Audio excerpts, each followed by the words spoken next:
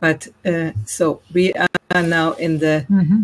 music and consciousness, and this is supposed the after show Blab of the Wisdom Factory. Mm-hmm. We are, I'm Heidi Hörnlein. This is Mark Davenport, and we are the Wisdom Factory, and we have on Google Plus a show. And we just had a show with Jessica Roemischer, pianist, and a wonderful teacher of, you could say, what is that? What would you call it? It is music. It is music. And it's getting into relationship, getting mm-hmm. into contact, mm-hmm. getting into the wonder of, she, of relatedness. Through through duets. Through she, duets. She communicates with people who aren't in any way necessarily musically trained. And with her classical background, she can create a framework where they can express themselves musically and they're amazed that they can play. but it's it's a wonderful uh, uh, service. Oh, here she is. Here we go. Under the own name. Mm, yeah. Okay. Okay. Now she came in on her Let other. Just... But that's that's very that's very close to uh, how I work or how I think, and uh-huh. it's again in the same stream of consciousness. It's about to come in. Yeah. yeah, and we can we can talk about that uh-huh. just now. Uh-huh. Okay, and please send a tweet out and please send a Facebook message out. Mm-hmm. And uh, using consciousness. Oh, that's me. Uh-huh. Hello. Blab. Talking about music with Kate Barbour. Oops, where is it? Oh. It, it, should, yeah, it should come up her name, no? It doesn't. It did. It is? No. It, Uh, no, it doesn't. Uh, there it is. Here she is. And because we want to have some people to mm. come into and talk with us about uh-huh. that. Okay. Yeah. Is she there? Still trying. Still trying. Come in, come in, come in, come in, come in. Yeah. And uh, Jessica, you should hear us now. And if you, after a while, that don't receive uh, succeed, then you might come it out again from here, clicking on the little cross, and come in again click on the little X. Okay. Mm-hmm. Mm-hmm. Mm-hmm. Okay, good. Try that again. And sometimes it takes time. It depends on how the um, connection is. Mm-hmm. Anyway, you can see us. Uh, mm-hmm. you see us. Mm-hmm. And you see Kate Barbour, who is in Scotland. And he is a classical singer. Oh! we got it! This is my old technology. Sorry, this is my old computer, so it's not not very. Uh, the image is not very good. yeah, it has a little bit this audio thing which we were talking about, but mm-hmm. it's okay. This is a more informal thing what we are talking about. Yeah. And I was presenting you, Kate, a friend of mine and classical singer, and we got to know. I will. I think it was via LinkedIn a year ago, isn't it? Mm-hmm talking uh, about the different. Mm-hmm. Yeah, more about, than a year ago. More than a year, mm-hmm. yeah, yeah. It's true. We, you were on our show in in in July last year, also. And where are you now, Kate? Where are you calling I'm in from? Scotland. I'm in Scotland, Scotland in our uh, oh, yes. beautiful cottage uh, beside mm-hmm. the fire, and it's very cold and snowy and sleety outside. Wow. and I, I, would also say, when you say classical singer, I would say uh, that I am kind of beyond the categories. And mm-hmm. I am, if classical, I'm classical light and very much into the healthy voice and true voice tuning, I would say. okay. Yeah. yeah, that's how we got to know each other. Exactly. Yeah. And I present to you Jessica uh, because Kate didn't see the, the show yet, and Jessica is yeah. uh, I think you can say the same thing as Kate said, only instead of voice, you say piano. Absolutely. It's yeah. lovely to meet you, Kate. Nice to meet you, Jessica. I think that I read a little bit about the show yesterday, and it was very interesting. Uh, uh, by the way, I, I started off with piano. That was my first love. it's a great. Where have where has your love gone in the meantime? Uh, it's an interesting thing because uh, I had a lovely piano teacher who was uh, very much uh, another fa- father figure to me, and he was a lovely person. Uh, but somehow the pedagogical uh, ways, you know, in during the communism, it was very much about elitist talent. If you were not absolutely brilliant, uh, somehow not my teacher, but the rest of the school, the music school, gave you uh, indications that you are not as good as you should be. Mm-hmm. Uh, yeah. So I think that I absorbed it. We had a very hard training and and stuff, and the anxiety and uh, perfectionism started to destroying my enjoyment. I think it's a story of so many musicians. Uh, and that's why I started singing because I felt much freer. Uh, but funnily enough, uh, after finding my voice, now I started playing the classical guitar and I might go back to the piano because as I changed as a person and unblocked a lot of things, uh, I have a different relationship to the, towards music and instruments. So, you know, you never know what's going to happen, and it's quite nice. That's true, absolutely. And I really encourage you, Kate. I mean, you're right. And I'm so happy, to be honest, that um, the the talk that we just had over this last hour is going to be on YouTube where you can watch it because this is exactly what we were talking about everything that relates to the experiences that you've had. So I. And you know what happened? Sorry that I'm uh, just. Uh, it's another thing that happened to me, and uh, uh, Heidi knows about it. I started composing music, and uh, it's like I, I have such so much joy in it. But of course, I'm not a great composer. I am at the beginning. I have loads of ideas and enjoyment. And but i have to be kind to myself because of course i'm a, a child composer. You know that uh, development stage in music that i should have experienced as 10 years old or 15 years old and so on i'm experiencing now when i'm almost 50 well i mean i think it's fantastic that you're giving yourself that opportunity and if if there was any encouragement that I would would offer, it would be that you allow yourself to experience the love of what you do in a way that's as free as possible from any prejudgment, and um, that what you're doing is you're you're you're saying to yourself, which is you know, the beauty of what you just described I'm giving myself this opportunity to simply fall in love again with music. and that's the only criterion is love. the love of the sound that you're creating.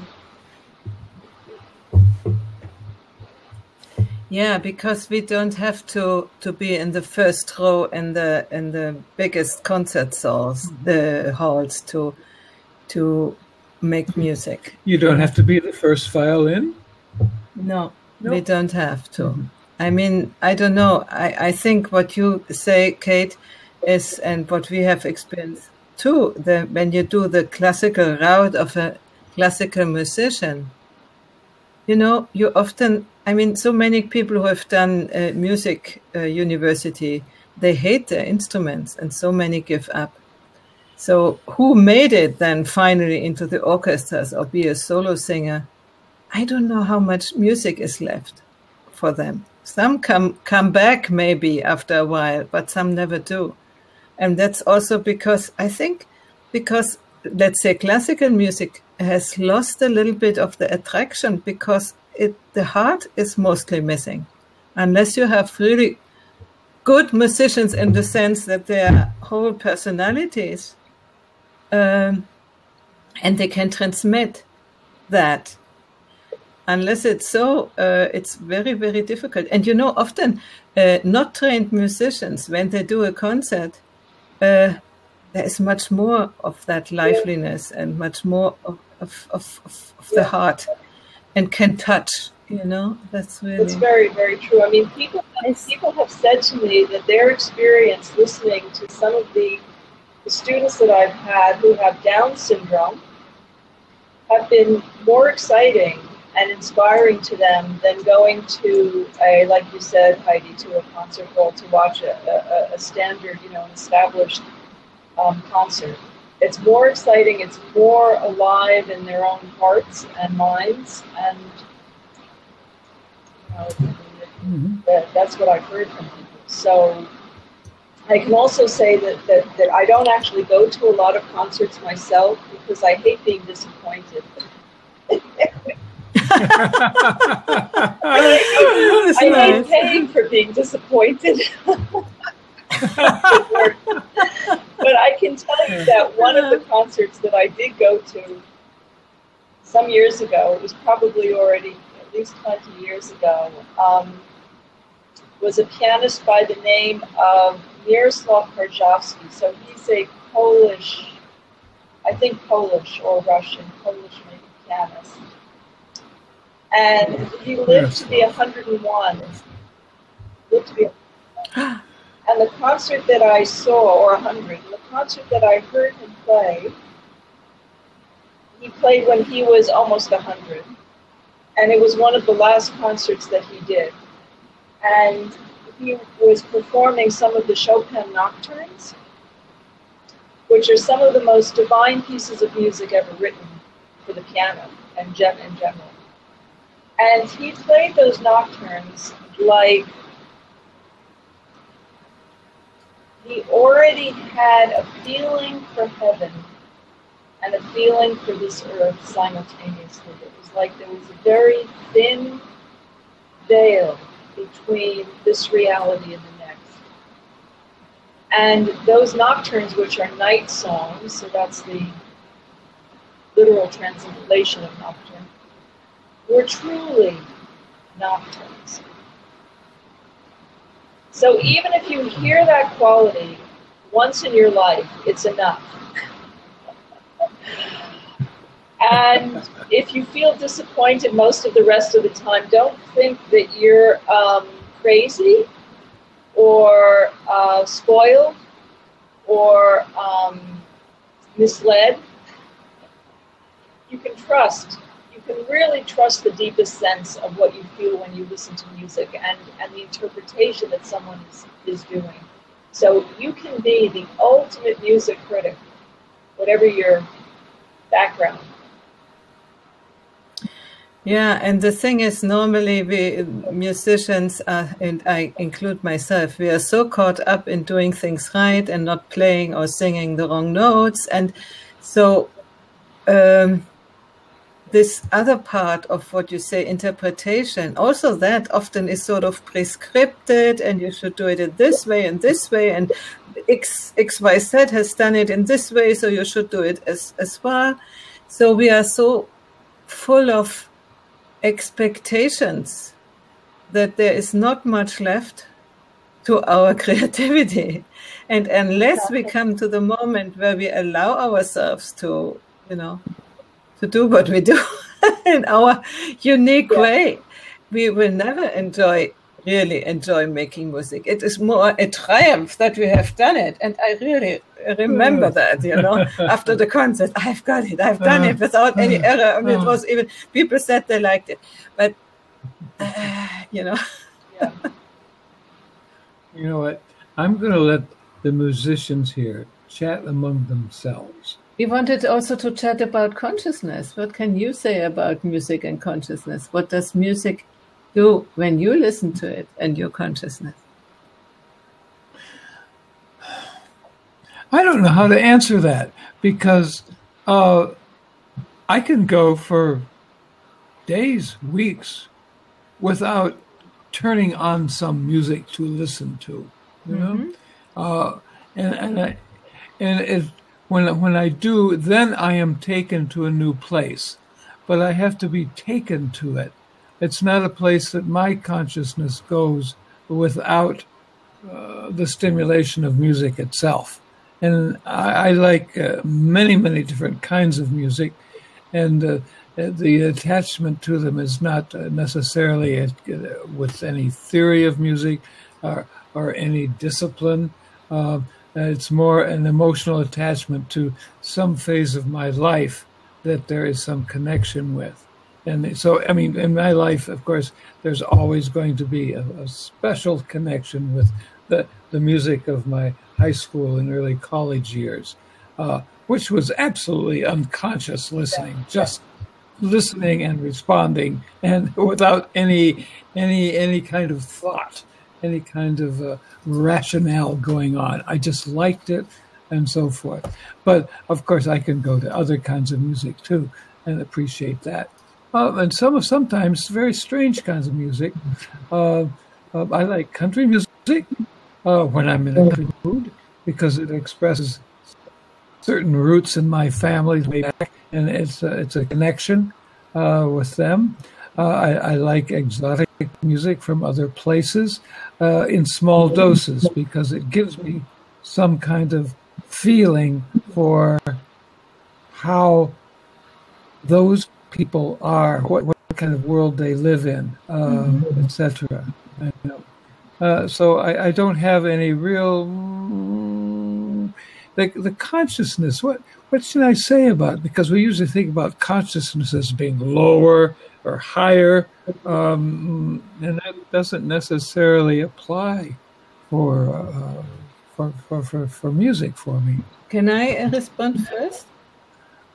Or second. Okay, now I, I think you said one important thing for me in this context is mood. Mm-hmm. Music is operating on the mood, and there are different sorts of music which create different moods. We didn't talk about that before in the. In so you're talking about states, not levels. States, yeah. absolutely mm-hmm. states of consciousness. And then when we do meditation in the evening, we have nice music on, and this helps to mm-hmm. go into different levels of states of consciousness, mm-hmm. different levels of states of consciousness. okay, that's what I say. Yeah. I leave, give it over to you. And there is another person here, Josh Mills Music. And if you want to join us, you can come in. Oh. Can he hear? Can he hear? Pardon? Can the other person hear? Is I see him yes. that he is here. Now he's gone away. On the, the on the top, oh, you can see these uh, little uh, icons, and you see who is in. Okay. You know, and he was here up to now, and now he's gone. Okay. We scared him off. I was just curious, Kate, if there was anything else you wanted to share, you know, about your musical journey, because it sounds like you're at a sort of, you know, transitional point where you're re-embracing. I am quite in, it, it, yes in a in a transitional uh, position because uh, I was coaching people who couldn't really sing, and mm-hmm. that coaching gave me so much, and I stopped doing it. I, I'm doing it only occasionally, and then that gave me uh, time for developing my own inner needs and hidden hidden uh, potential. But also, I was very interested in the healing power of music. So, for example, uh, I was very interested in different type of tuning, you know, the uh, according to Fibonacci numbers, Right. uh, music and mathematics, you know, the resonance with the universe and the u- tuning that we are using. You can find all the information on the internet about it and also uh, all the different frequencies uh, uh, belonging to different chakras uh, are presented on YouTube and you can listen to it. And I, I am interested in that. And also I have a Tibetan bowl here and I use overtone singing. And I am doing sometimes uh, kind of home healing sessions for, for my friends and family uh, where I sing the overtones and do the Tibetan bowl and people are receiving these uh, these vibrations. And I mean I shouldn't be really speaking about it but because I'm not taking it so seriously because I'm just giving it out of uh, joy and generosity. It's not they they do have improvements you know like uh, frozen shoulder or whatever symptoms, you know, and they feel much better afterwards. I don't know how, how long it lasts, but they feel that they have um, cleared out something. So, We have uh, an echo now. I think we need somebody needs some earphones. And just to say, I'm sorry, I'll have to be leaving in just in a few minutes. Um, Okay. But I wanted to say to Kate that I'd be very happy if you felt you wanted to contact me through my website. I'd be delighted to. If there's anything that you feel that I can in in any way help or support you, let me know. You know, or if you want to share more about about it, about your experience, I'd be I'd be very happy to. Thank you, Jessica, and I will contact you. Yeah, that would be lovely because I can feel in your intention in your heart, you know, your your intention is beautiful. I mean, I, I, I, I'm not surprised that people have the experience that they have that, you know, because of the way that you're, what you're bringing to them. So I just warmly welcome you if you'd like to share more about what you're doing. Um, and I want to thank Heidi and Mark for making this opportunity for me to meet you and you know to have been able to express um, what I was talking about. And I also really encourage you the, the, the video the video replay um, is going to be great. So I, and anybody else who is interested on this on this uh, on this chat. Um, we covered so much, right, Heidi? It was just fantastic. So I really encourage anyone to, to watch the video replay of our talk. Yeah, it was a wonderful show. And we will do it again. We will do more. Absolutely. Are you st- still here, Kate?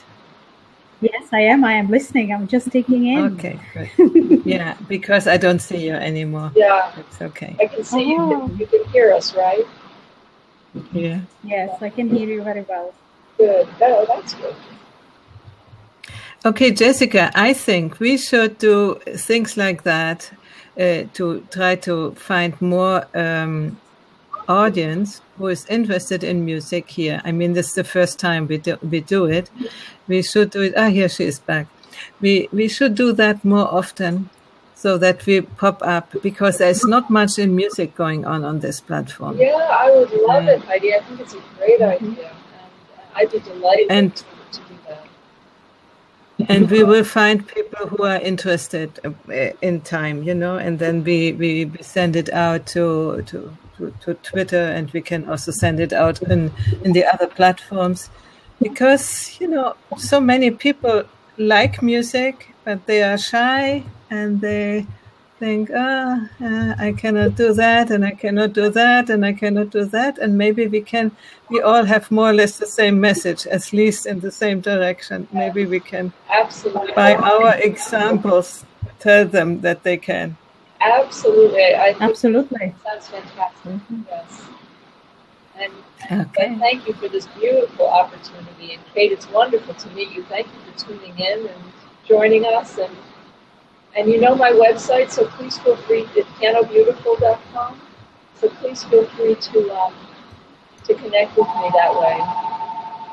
Yes, I will okay. revisit the the post on uh, the Wisdom Factory because I think everything is there. Is it right, Heidi? Everything is there. Yeah, you will find everything there. That's fantastic. Thank you very much, Jessica, for your support. Absolutely. Lots of love to you and Heidi and Mark. Thank you. Heidi, thank you so much. Thank you Take for care. being with us. Bye bye. My pleasure. Bye. Bye. Bye. Oh, it was a shame that we could hear her so badly. Uh, it was a very disturbed um, sound, but now we can talk yeah, the, together a yes, little bit. Yes, but the message uh, went across. I could hear what she was saying, and mm. uh, it's wonderful what she's saying. Yeah. You know, and I think we we are called to how to say to support a different music culture where music becomes the expression of ourselves and not something you, you do because you do it, but this becomes an expression of your inner inner life, let's say. You know, and, my book on the wings of the voice, that mm-hmm. was the main message. You just said it. That is yeah. the message yeah. of my book. yeah, and that's how we found each other, no? Because mm-hmm. of the similar message. And when you look around, normally, I mean, I had a choir, no, and uh, uh, it was a church choir, so people are quite conservative, let's say. And I tried mm-hmm. to to bring something else in, some other way of of living music, and not only doing it all right. I mean, it's nice when it's right. It sounds nice, but to have more joy in doing it, you know, to, to open up. And it was really difficult to do that. Some people would, yeah, but mm, not really. We are so conditioned in, in what music has to be, you know. So Remember, I see there's somebody. Uh, you, huh? Okay. You had a, a very nice uh, a conversation with the Canadian writer yesterday. Uh, if you can remind me, remind me about her name, the Jessica? Canadian writer. Just no, no, no, no. C- Canadian writer. Uh, it was uh, with the connection. Hang on. Ah, yeah, yeah. Marilyn Harding. Mm-hmm. Marilyn Harding and the way she was speaking, it was something fantastic. And I was just thinking, this when when people get into this point of uh, consciousness or development and state, uh, it doesn't matter what medium you take.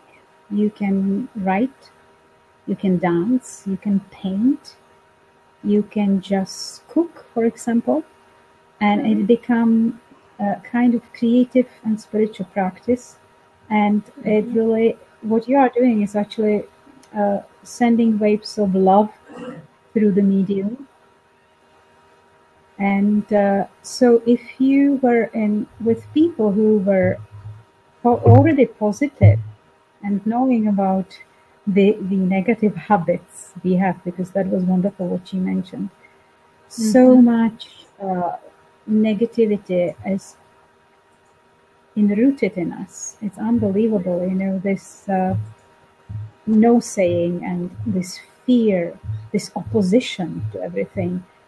Uh, and it's even within the people who are trying to be the, the positive ones. Sometimes it's even it's worse. I was one of them.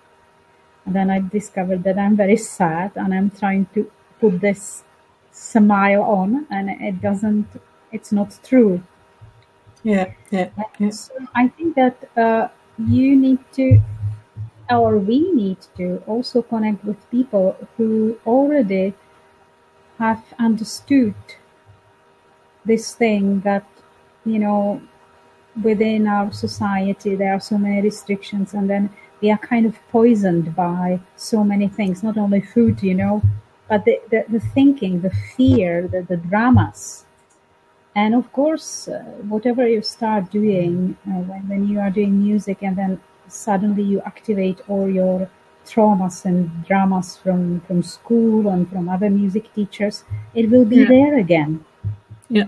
i mean we can kindly uh, offer a help but if the person doesn't have any experience of working with these fears and knowing how to release them they won't make it in my Hmm. opinion that that is uh, and with my coaching experience that was the main thing with some people they just couldn't make it a few people couldn't make it through that Yeah. because the the traumas were too deep and the uh, protecting mechanism was too strong Yeah. Yeah. Yeah, I know. I do think uh, what we did now with Lawrence, these things could help that. They could, uh, the gold key release, they can, they can open up these things, but probably not the normal ways, not like our, let's say, our coaching, our goodwill is, is a, a fine thing, you know, and our expertise, but it's difficult to arrive at these levels of uh, ingrained drama. I don't think we can go there. And the last coaching experience I had just two or three weeks ago, uh, the participants, we, we were about 10 people, they loved it, mostly men, and they they said something very interesting. they said, but this is, isn't this uh, personal development through singing? Yeah, it is. I said, I said, you know, it's an interesting thing because it's both. It is really Mhm. singing, but if you want to sing freely and you know and, and express yourself in it, you need to grow as a person. I think it is a co-arising. It's at the same time if you allow it. If you don't allow it, if that's what I wanted to say before. If you just want to learn to sing in this way, like you study uh, language, um, words of a different language, then you neither learn well to sing, in my opinion, nor you develop. No, but uh, if if if people are open to that, then it is both, and at least as in my opinion, you know. And I think we were talking before about music performance. You see in what level of consciousness or, or what state of consciousness people are. If they have a personality, then the music is, I mean, a deep personality. The music is touching you. If it's not, if they don't have gone into the depths. It's just blah blah blah blah blah blah blah blah blah blah. It, it's just going in here and out here, you know. So that's what my experience is. Sometimes it's uh, much better to listen to uh, actors who are singing Mhm. because they were they have been working uh, at so many levels with uh, emotions and their own consciousness and the bodies. They had to Mhm. work with bodies much harder than the singers, which is very strange. Yeah. and because singers are half musicians you know they they they go heavily into the music theory but nobody wants them to to play the instrument very well it's very strange thing uh, i don't know how the training is now but what i went through it was a bit disjointed and also it, it was not a, not really helpful you know because as you know uh, for example in the choir you know how many activities are involved if you want to become a good choir singer?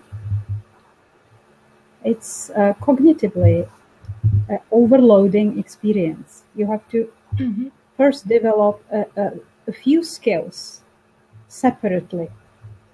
Then you can put it together and to think about uh, very ambitious choir leaders who invite good voices uh, good uh, people with good uh, musical ear, intonation, and everything, and then they want from them to receive the first first time uh, the song, sing it without warming up, sing the words as well, do the intonation, and if there are any any big problems, you know, you just sing through it. Uh, but only the, as they call it, we, we are just singing through it. And doing it so badly, of course, you do it badly because everything falls falls out. You're breathing, uh, you know, you probably sing in a foreign language. uh, yes, overload. To, yeah, you, you, you read the music. Uh, you are tuning into your uh, harmonies because you have other singers around you and then you also read the uh, foreign language at the same time and you have rhythm as well. Yeah. I mean uh, it's complete overload. And then uh, of course your voice if you are not a perfect singer who's got everything already under your skin automated. You cannot you know you are just and and this happens all the time with these half professional uh, choirs. And I think it takes a lot of joy out of, out of it because people get tired and they go there after work. I am very surprised that a lot of good choirs are still holding, and it must be a really a real passion, deep passion of the people to to be singing. It's a deep passion because uh, it's a hard work. Otherwise, mm-hmm. yeah. Do you agree with me? Yeah. I'm completely with you. Kate, I mm-hmm. think I'm done for today. We had this wonderful show before, and there's a person coming in.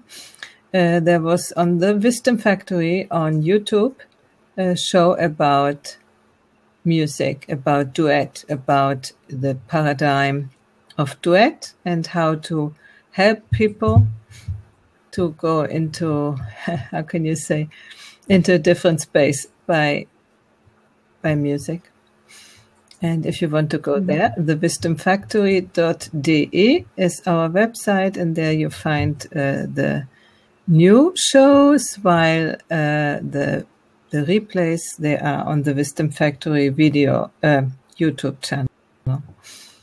And I think for today I would close here. I'm a little tired. it's late at night, and Kate, we we stay connected.